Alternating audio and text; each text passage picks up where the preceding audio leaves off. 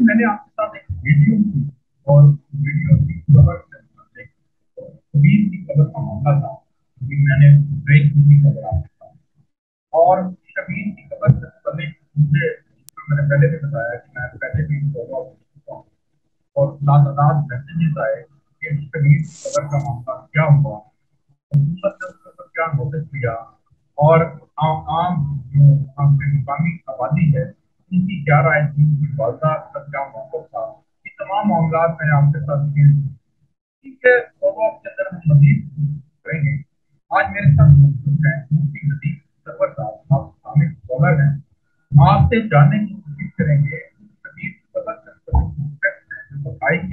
वो समझने की कोशिश करेंगे कि वो जो मुझे जो का मामला था मुझे आई वो क्या मामला था और जो मुख्तलिफ़ हमारी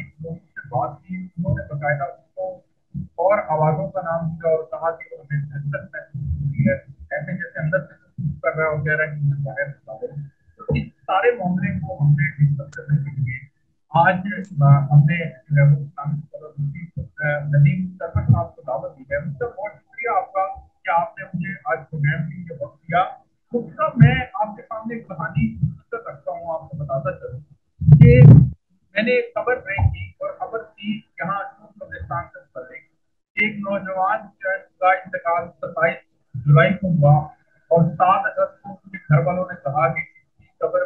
आवाज़ आ रही है।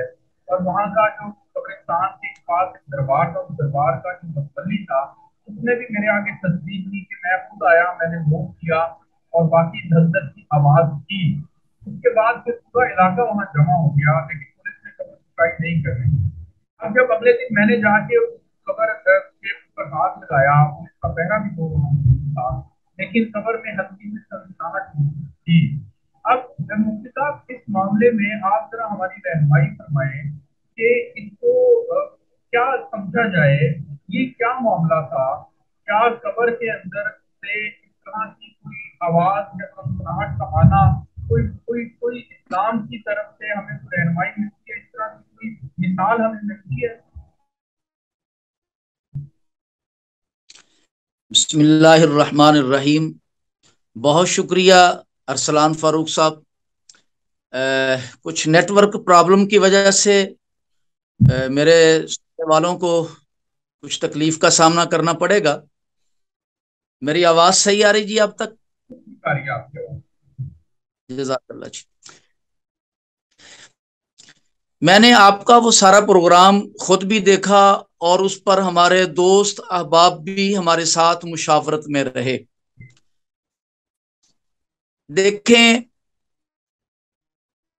अल्लाह पाक कभी मोजिजात और कभी करामात का जहूर फरमा देते हैं। मोजिजात का ताल्लक अंबिया की ज़ात से है और करामात का ताल्लक औलिया की ज़ात से है। कोई भी अनहोनी चीज़ अगर किसी नबी के साथ निस्बत रखती हो तो मोजा है और वली से नस्बत रखती हो तो करामत है। अब मोजात का जहूर नहीं होगा, करामात का होगा। अब इसमें फिर दो चीज़ें हैं। नंबर एक, यानी सोना सोया हुआ। नंबर दो, मोया हुआ। यानी मरने के बाद फिर कलाम करना।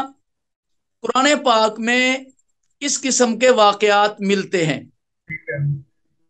कुरान पाक में, सूरह बकरा में अल्लाह पाक ने एक तस्करा किया है वही कतल तुम नफसन फद्दारा तुम लंबा वाक्य है कि गोशत का टुकड़ा लगाया गया और मुर्दा बंदा ज़िंदा हो गया और उसने कलाम किया।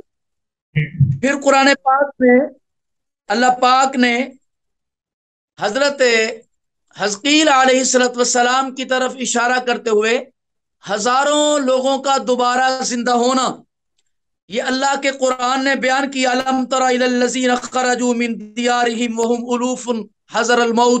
हजर लोग ज़िंदा हुए, मौत के बाद, मरने के बाद। फिर हज़रत मूसा सलाम के सत्तर लोग जो कोहतूर पे साथ गए थे, मौत आ गई। हज़रत मूसा सलाम ने अल्लाह से दुआ की और वो सत्तर के सत्तर दोबारा ज़िंदा हो गए।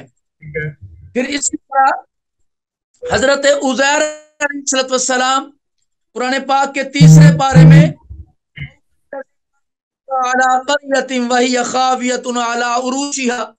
पुराने करीम की आयात इस बात पे शाहिद है कि अल्लाह ने उन्हें ज़िंदा किया। तो इसमें दो चीज़ें हैं। नंबर एक मोजिजात नंबर दो, करामात। खुद हदीस मुबारक में, बल्कि तिरमजी शरीफ की हदीस है कि रसूलुल्लाह सल्लल्लाहु अलैहि वसल्लम एक सफ़र से वापस तशरीफ़ ला रहे थे। एक जगह खेमा लगाया। सहाबा कहते हैं कि हमें इलम नहीं था, ज़मीन हमवार थी। तो अंदर से कुरान पढ़ने की आवाज़ आई जब यह मसला सरकार दो आलम वसल्लम के सामने पेश किया गया तो आप सलाम ने फरमाया कि हाँ यहाँ फला सहाबी दफन है और वो सूरह मुल्क की तिलावत किया करता था, उसकी आवाज़ आज आप लोग सुन रहे हैं। तो इस तरह अब अब मैं बहुत मुख्तसर, इसमें खुद अलैहि वसल्लम के मुबारक दौर में भी ऐसा हुआ कि बाज लोगों पर मौत आई, जैसे हज़रत जाबर रज़ी अल्लाह तहो के दो बच्चों का ज़िक्र आता है कुतब हदीस में, कि अल्लाह के नबी की दुआ की बरकत से अल्लाह ने हज़रत जाबर के फौत होने वाले बच्चे, अल्लाह ने उन्हें ज़िंदा कर दिया। एक औरत का वाक़ रसूलुल्लाह के मुबारक दौर में जिसका बच्चा फौत हो गया तो उसने कहा, या रसूलुल्लाह, मैं अपने खानदान को क्या मुँह दिखाऊँगी? अल्लाह ने उसका मुर्दा बच्चा भी ज़िंदा कर दिया। तो ये वाकयात कुतब हदीस में मौजूद हैं। और एक है तदफीन के बाद दोबारा कब्र से कलाम करना। बरजखी ज़िंदगी। अगर हम बरजख का माना समझ ले कब्र बरजख है।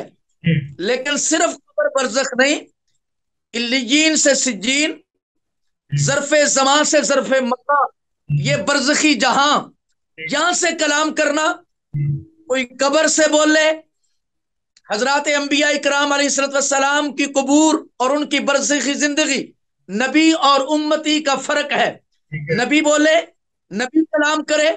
जैसे अल्लाह के नबी सलाम के मुतलिक कुतब हदीस में सहाबा से बहुत सारे वाकयात हैं कि अल्लाह के पाक पैगंबर सल्लल्लाहु अलैहि वसल्लम ने अपने रोजा अतर कब्र मुबारक से कलाम किया। बहुत सारे वाकयात हैं। लेकिन उम्मती के हवाले से अर्ज़ कर दूँ कि अगर उम्मती कब्र के अंदर से कलाम करे तो ये करामत है। नबी कलाम करे तो नबी का मोजिजा है। खुद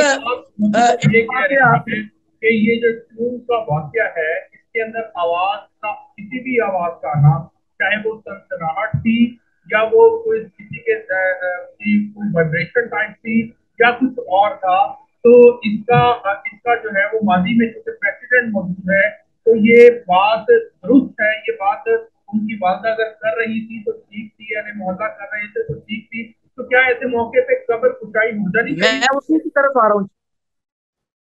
मैं उसी की तरफ़ आता हूँ सिर्फ़ एक एक दो मिनट के बाद। तो कब्र के अंदर कलाम का करना इसका इनकार नहीं है बतौर करामत अगर अल्लाह पाक किसी को तोफीक दे, कई कबूर अलिया की ऐसी हैं कि उनसे खुशबू का आना, वजूद का ज़िंदा सलामत आना, ये सारे वाकयात मौजूद हैं।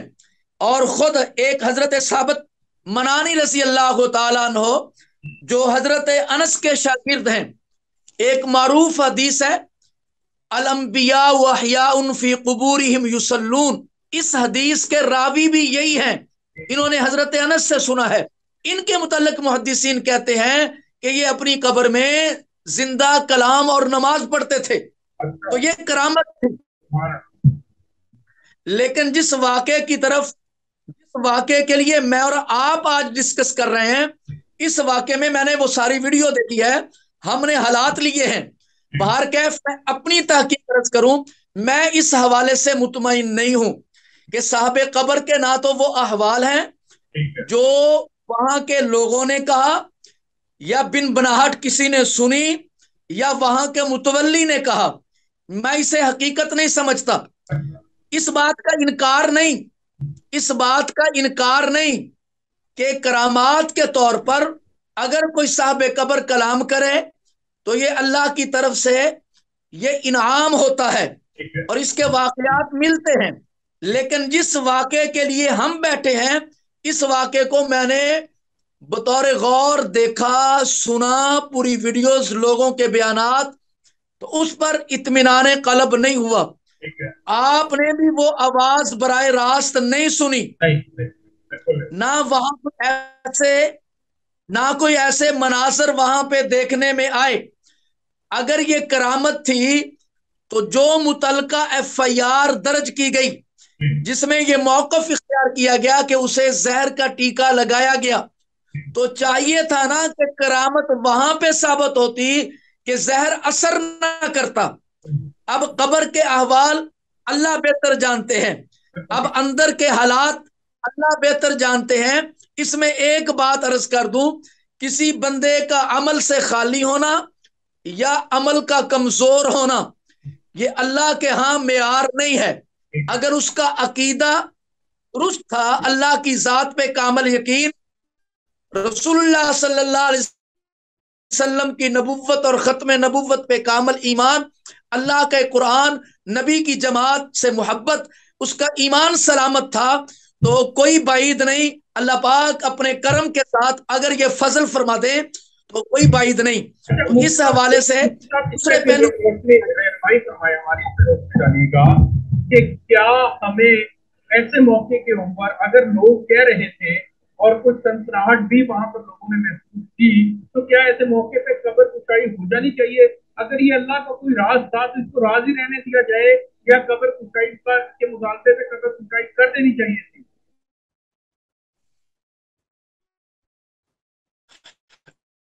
मेरी राय के मुताबिक, चूँकि इसका जनाजा हुआ सैकड़ों लोगों ने इसका जनाजा पढ़ा, इसकी मौत की तस्दीक हो गई। अब इसकी कबर कुशाई की ज़रूरत नहीं थी और ये मामला अल्लाह के सपुर्द कर देना चाहिए। इसी लाहौर में हमारे बहुत सारे ऐसे बुज़ुर्ग हैं, मौलाना अहमद अली लाहौरी रहमत और इसी तरह गाजी इलमुद्दीन शहीद रहमत मौलाना मोहम्मद मूसा खां अलबासी रहमत और बहुत सारे ऐसे काबरीन मौलाना अली शेर शहीद रहमत और दीगर अकाबरीन उनकी कबूर से खुशबुओं के झोंकों का आना कब्र के खुलने पर बास अहबाब के कफनों का ज़िंदा मिल जाना ये ऐसे वाकयात हैं। इस बुनियाद पर उन्हें कब्रों से निकाला नहीं जा सकता उनकी कब्र कुशाई नहीं की जा सकती। अच्छा, अभी ये आपने बेशुमार मिसालें दी जो कि माजी वईद की थी। माजी करीब की मिसाल प्राइवेट के हाजी अब्दुल साहब की कब्र से आना भी है। जी जी ऐसा ही है बिल्कुल हाँ ऐसा ही है अच्छा तो मुफ्ती साहब अब इसमें क्योंकि आप कह रहे हैं कि इन मामला को लेकर कब्र सुखाई नहीं होनी चाहिए थी अब जो वालदा कह रही थी कि मेरा बेटा अंदर ज़िंदा है और मुझे मेरे बेटे को मेरा दिल कहता है कि वो ज़िंदा है और मेरे बेटे को अल्लाह ने नई ज़िंदगी दे दी है तो क्या आज के इस दौर के अंदर ये समझा जा सकता है कि ये ऐसा भी मामला हो सकता है जैसे वालदा कह रही है कि मेरे बेटे को अल्लाह ने नई ज़िंदगी दे दी? देखिए जी क्यामत तक करामात का जहूर करामात का वजूद में आना ये होता रहेगा इसमें कोई ऐसा मसला नहीं। इसे कानूनी पहलुओं और स्टेट के मामलात के साथ देखना होगा। कि जिससे फितने का अंदेशा ना हो तो इसमें भी कोई ऐसी कबाहत नहीं। अगर उनके इतमान कलब के लिए अगर रियासत जैद कराम की राय लेकर एक बोर्ड बिठाकर और मुतफिका तौर पर उलमा की राय के साथ अगर वो कब्र कुशाई करती है तो इसमें कोई मसायका नहीं है।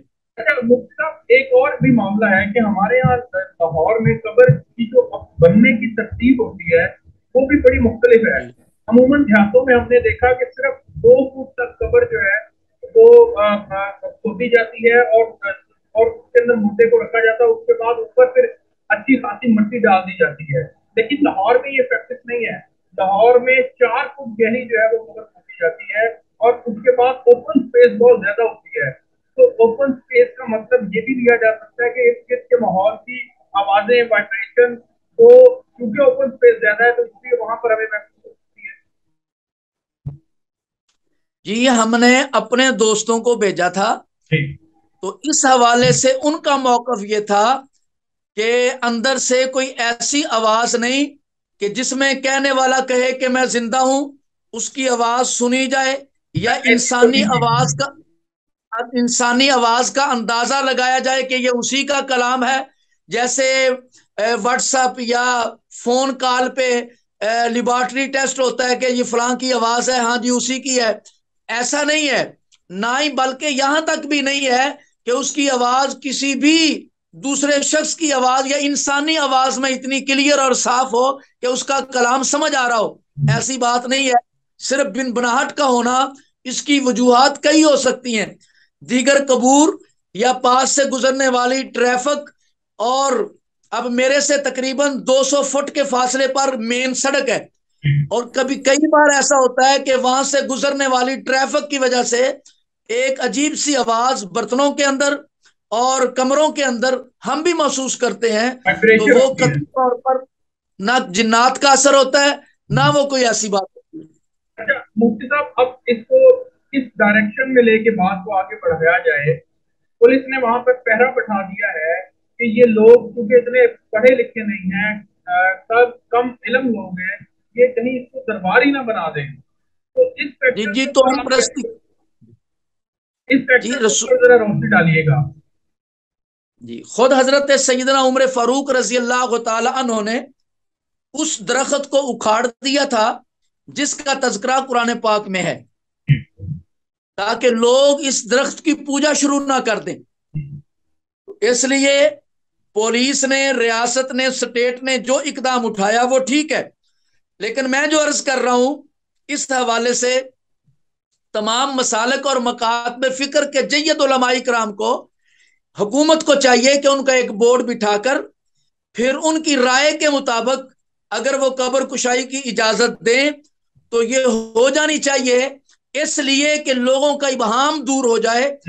लोगों की तबीयत में ये जो बात चीज़ें, और इसमें बहुत सारी बातें आप हजरात जानते हैं, सहाफी तो बहुत ज़्यादा जानते हैं कि हमारे चकवाल के इलाके में भी एक मरतबा ऐसा हुआ था, और फिर वहाँ की मट्टी, और वहाँ की तस्वीरें, और वहाँ का हर चीज़ बस वाकयात पंजाब में ऐसे हुए कि किसी जानवर के साथ मानूस किया गया तो उसका गोबर और पेशाब तक भी लोगों ने खरीदा। तो लोग तो तोम प्रस्ती का शिकार हो जाते हैं। तो अरबाब अहिलो इकतदार को चाहिए कि इस मसले को क्लियर करें, ताकि ये मसला लोगों के अकायद की बर्बादी का सबब न बने। मेरी और है कि मेरी उनकी वालदा से बात हुई। उनकी वालदा ने बाद में मुझे ये कहा कि मैं अपने बच्चे के लिए पढ़ रही हूँ, उसके लिए दुआ कर रही हूँ और उसको ज़्यादा से ज़्यादा पुराने पाक और दीगर अजगार पढ़ के हदिया कर रही हूँ। मैंने वालदा से फिर एक और बात की तस्दीक भी चाहिए कि आपका बेटे का आपके साथ रवैया कैसा था? क्या आपने अपने बेटे को माफ़ किया हुआ है या नहीं? तो पहली बात कि वालदा का इसके ऊपर आप इतमान हो गया कि वो दुनिया में नहीं है। मैं उसके लिए पढ़ रही हूँ और उसको हदिया कर रही हूँ। तो ये इस बात का इतमान हासिल हो जाना तो ये भी इस बात की गवाही देता है कि इस बात को अब यहाँ पे खत्म कर देना चाहिए ताकि इस बात को मजीद आगे बढ़ाया जाए। जी, आपकी राय बिल्कुल ठीक है। जिन जिन असहाब के मुतलिक बतौर करामात, वाकयात मौजूद हैं, उस वक़्त के उलमा ने उनकी, उनको कब्रों से नहीं निकाला। जैसे हज़रत साबत मनानी के मुतलिक है कि वह अपनी कब्र में मुहदसिन ने कहा कि वो ज़िंदा हैं। तो किसी ने ये राय नहीं दी कि उनकी कब्र कुशाई करके उन्हें अगर थे तो ये अल्लाह की तरफ़ से उन पे इनाम था। अल्लाह का एक राज था अपने बंदे के साथ कि अल्लाह ने उस कब्र को तहद निगाह वसी कर दिया, उसको जन्नत का माहौल दे दिया और उसे जन्नती बागीचा बना दिया। तो अगर ऐसा मामला होता कि अगर ये निकालने की इजाज़त होती तो फिर तो बहुत सारे खुद नबी पाक सल्लल्लाहु अलैहि वसल्लम की आवाज़ मुख्तलफ अदवार में मुख्तलफ लोगों ने आप सलाम की आवाज़ सुनी है। और उम्मत का इजमाही अकीदा भी है कि रसूल सादिक सल्लल्लाहु अलैहि वसल्लम अपने रोज़े अतहर में ज़िंदा हैं। लेकिन इसके बावजूद वो ज़िंदगी उसका कयास हालाँकि नबी और उम्मती का फ़र्क होता है। अच्छा मुफ्ती साहब, क्या फिर इस कबर के मामले को लेकर के आप रोशनी डालिएगा? क्या जिस आदमी का कफन सलामत निकल आए, या जिससे जिसम सलामत निकल आए, या जिसकी कबर से खुशबू आए, क्या हम ये समझें कि यही लोग इन्हीं की मकसद हुई है, यही लोग नेक थे, इन्हीं को दर्जात मिले हैं, और जिनके मुतलिक ये मामला ना हो तो उसके मुतलिक क्या कोई, हमें कुछ और सोचना चाहिए? ये बहुत अहम सवाल है। जिन लोगों की कबूर से अल्लाह पाक खुशबू को जारी फरमा दे, उनका वजूद सलामत निकल आए, उनका कफन सलामत निकल आए, ये बहुत मुबारक चीज़ है।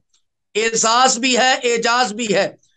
लेकिन जिस बंदे का वजूद सलामत ना निकले, हड्डियाँ सड़ गई हो, जिसम वजूद उसका गल गया हो, एक जर्रा बराबर भी उसके मुतलिक शायबा नहीं होना चाहिए कि ये बंदा अल्लाह की गिरफ्त में है या ये गुनागार है। ये म्यार नहीं है अल्लाह के यहाँ। ये म्यार नहीं है अल्लाह के यहाँ। तो ये बख्शिश और मगफरत का। तो मुफ्ती साहब फिर ये फिर ये अवेयरनेस भी हमें लोगों को देनी है कि ये मैार नहीं है। अगर कोई ऐसा मामला कबर का हो जाता है तो ये कबर के अल्लाह के राह है नहीं बेहतर जानता है। इंसान को नहीं अख्तियार के वो इसके ऊपर को कमेंट करे। आपकी बात बिल्कुल सही है। ये जो अहबाब मेंबर हैं खुतबा उलमा, मेंबर रसूल पे बैठने वाले, ये उनकी भी ज़िम्मेदारी है, और आप हजरात की भी ज़िम्मेदारी है कि जिनके हाथ में मीडिया है, कि वो पब्लिक को आवाम को इस हवाले से उन्हें इस बात से आगाह करें कि ये मैार नहीं है। किसी बंदे का जन्नती होना और किसी का गुनागार होना हमारे पास कोई पैमाना नहीं हाँ जो कलमा गो मुसलमान दुनिया से चला गया कभी यूँ होता है कि अल्लाह पाक उसका मामला दुनिया में खत्म फरमा देते हैं और कभी अल्लाह अपने कर्म के साथ कब्र में खत्म फरमा देते हैं।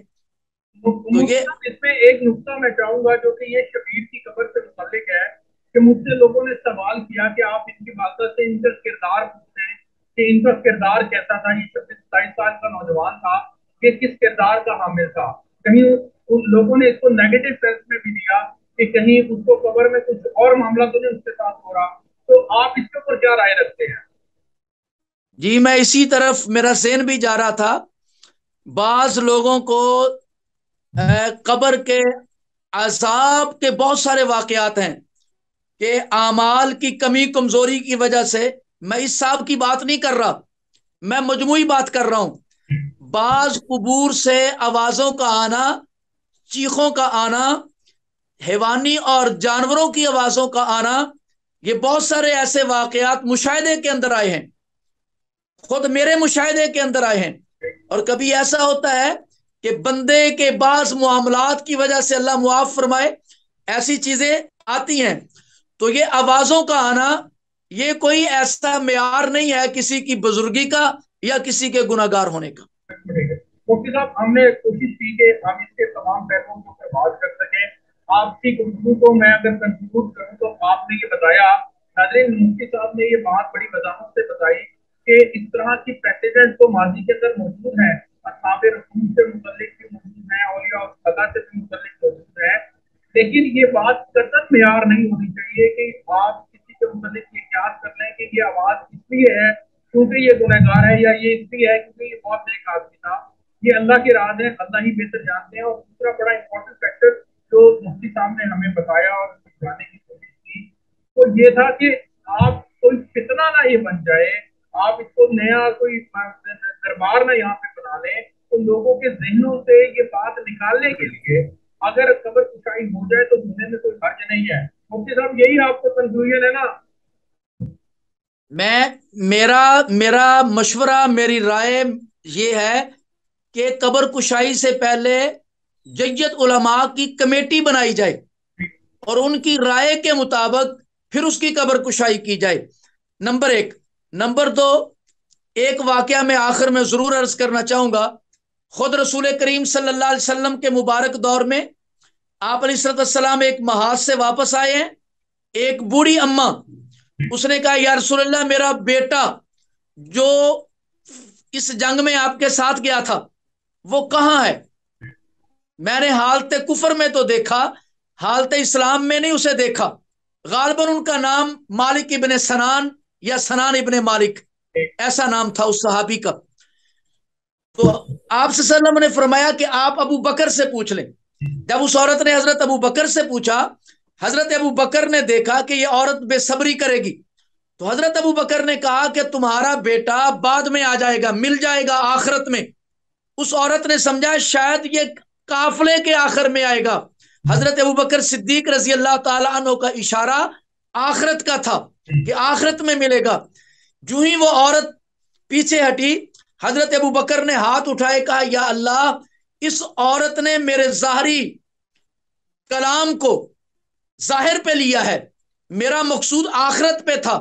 अल्लाह तो इसके बेटे को ज़िंदा कर दे, वगरना ये औरत की वजह से अबू बकर सिद्दीक की सदाकत पे हरफ आएगा, जो नबी के गवाह हैं।